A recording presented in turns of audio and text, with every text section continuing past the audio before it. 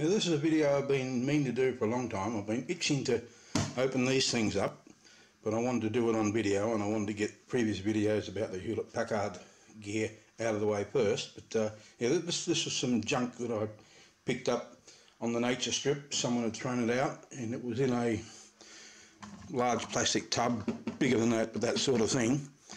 And uh, unfortunately the night before it had rained, so there was two or three inches of water in, in the tub this was at the bottom of it, and uh, so it's been water damaged, no doubt. Same with that unit at the back, and this was on top, so it probably didn't get soaked, but probably also water damaged. Anyway, what are they? A mini electrosurgical unit, and that appears to be a similar thing, electrocautery. So I think they uh, you stick some electrodes in there, put one to a pad on on somebody's body small of their back, I think. And then with the other probe, you cut them open using, I think, a high voltage spark. And I'm guessing that it's a, a radio frequency high voltage so that the skin effect reduces the amount of electric shock, although skin effect won't really matter when you're cutting people open, but maybe at that point, it, yeah, who knows. Uh, and it cauterizes the cut obviously, because you've got this uh, high intensity spark going on. And these seem to be fairly common. There's, there's devices like these on eBay, a number of different models, and as well as cutting and cauterizing, they do half a dozen other medical things that I don't know what they mean. But uh, yeah, I think it'd be interesting to see what's inside of those. And the other thing that was in there was this contraption, which is a ultrasound machine. So, uh, depending on how interesting they are, I'll either do it all in one video or one video for these guys and one for, for this guy. Yeah, so first of all, I'll, I'll leave that one to last, open these guys and see what's in them. Also in the bucket with these things were a couple of foot pedal switches, presumably for these things so that you can have your hands free while you're doing your surgery and turn on the spark with your foot. Now this one has got something loose inside of it which and it feels that that loose thing is most of the weight of it. So let's have a look inside that. Alright just four screws on the edges and already a bit of signs of rust. And this just lifts off I think. Uh -huh. and there's our heavy weight that's banging around yeah. Looks like a couple of high voltage transformers, ferrite core. Not much in there. Can this come off? It seems to be in the way a bit. By the way, these are made in, this thing's made in India. Okay, it's not completely loose, it's just a couple of really loose bolts in the mounting, not letting it, not holding it in place properly. I might try and reverse engineer, come up with a circuit for this thing. Might be interesting. That looks like the foot, foot switch control. I'm not sure what that is there. One little circuit board with a TO220. I'm guessing a triac. Don't know what that is. Oh no, there's a screw for this front panel under there. Okay, I can, I can get, get the front panel off with that and try and reverse engineer it, see what, see what I come up with. And so that comes away, almost. Um, can't get this to lay flat down there, so they've saved a couple of cents on wire for this. Still not sure what that is. And I'll try and draw a schematic of this. Well, I've done a bit of reverse engineering on this thing. This unknown device actually turns out to be a couple of spark gaps. You might be able to see it against the paper there. There's two spark gaps in series there. One that goes across and then out here. This transformer appears to be the high voltage source. The primary measures 180 ohms and the secondary 10k. So that's that generates the high voltage which goes into this lot, and I think this actually works a bit like a Tesla coil.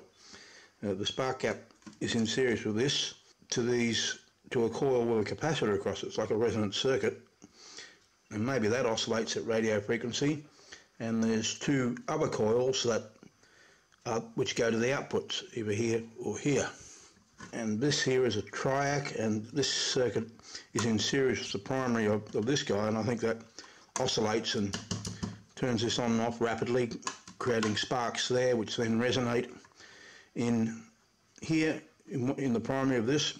There's also other capacitors on the secondaries, and they're 3.9 microfarad 2 kV caps. Here's the circuit. Yeah, so power comes in. They've fused the neutral, not the active, which is a bit dodgy. Switch goes there, the main switch, which then illuminates a neon bulb to say power's on.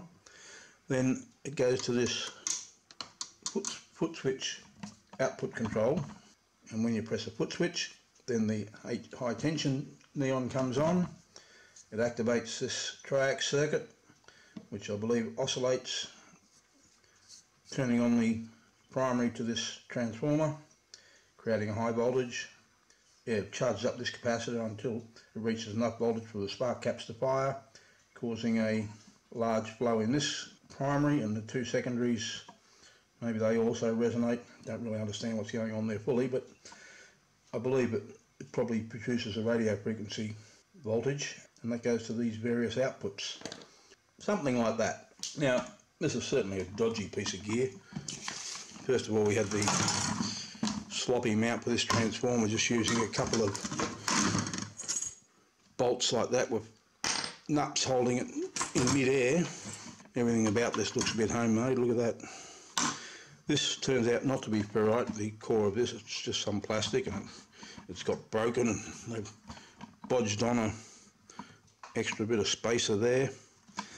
Uh, the earth connection didn't have a star washer, although they did scrape away the powder coating so I can make contact with the case, but it should have a star washer to make sure that it stays in contact. Fusing the neutral instead of the active is dodgy. And then the active comes out to this terminal. So they've got 240 volts going through the foot switch. Not nice. What if your uh, patient's blood pours all over the switch and electrocutes you? Worst of all they've got the active coming to the outer side here. So you can actually touch that. If the power's on you touch that you've got active right there instead of on the, the more inner terminal yeah, so all in all, pretty dodgy and homemade looking. But it's a nice case, uh, so I can probably tear this off or even use a different plate on there. But uh, yeah, it's a nice case for some other project. So there you go, hope you found that interesting.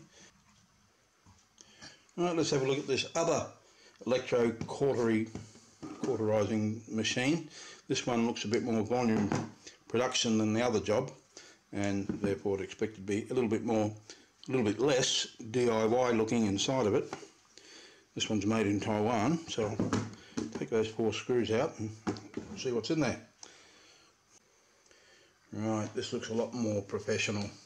Nice uh, high tension wiring, potted electronics, much more professional looking output transformer and split cores or split bobbins for the uh, input.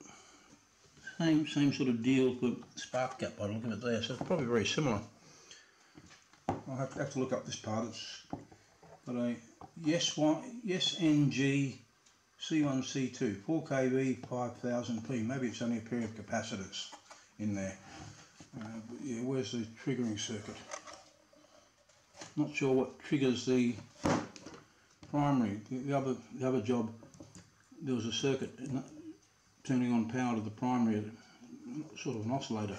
Um, maybe this one's continuous. I'll have a look. There might be something underneath this. Oh, there will be. Be big controls. It's probably just a. Oh no! Look at that. That big control moves the secondary over the primary. That's, that's interesting, isn't it? Changes the amount of coupling. I'll see if I can come up with a circuit for it. Right, I've reverse engineered this guy. There doesn't appear to be any electronics. I believe this is just two capacitors, a small one and a large one. 4 kV, says 5000p. I suppose that means uh, 5 microfarads. This says uh, 4 kV, 4350p I think. So 4 microfarads. Anyway, there's the circuit for it. Again, the foot switch is on the active. I guess what I was saying before, it's, it's um, no avoiding that. The foot, the foot switch is going to have mains power on it no matter what. But in the case of this thing at the back, it certainly shouldn't have active where you could just touch it when there's no plug in there. It should be the deeper pin that's on the active. Or really, I suppose it should be low voltage. For a relay, but then you'd need a low voltage power supply and another transformer. Yeah, good insulation, I suppose, we'll take care of that. Um, I found ads for this model on the internet, couldn't find a manual for it, but it says that its uh, output frequency is 700 kilohertz, so it's definitely some sort of a resonant circuit here with the spark gaps and the capacitors and on the output here and again it's got low and high and a monopolar or you know, non non-reference to ground. The centre tap of this thing goes to ground, but um, there doesn't seem to be a, a ground output here. So they're they just relying on mains ground to make that connection? Possibly. Resistances are of the coils are like that. You can see the big difference there, so that's where the really high voltage comes out. So again, a nice, that might be a nice high voltage transformer, especially since it's got split bobbins, unlike that one. And this is really cute. That's got to be useful for something. Not sure what, but I like it. Anyway, so yeah, a couple of uh, microsurgery cautery units. Oh, this, this, by the way, this, this is good for removing freckles, polyps and hemorrhoids yeah, uh, I hope you enjoyed that. Looking at these two things, I'll have a look at that uh, that um, ultrasound in the next video. All right, don't forget to smash that like button before you watch the video, and I'll catch you later.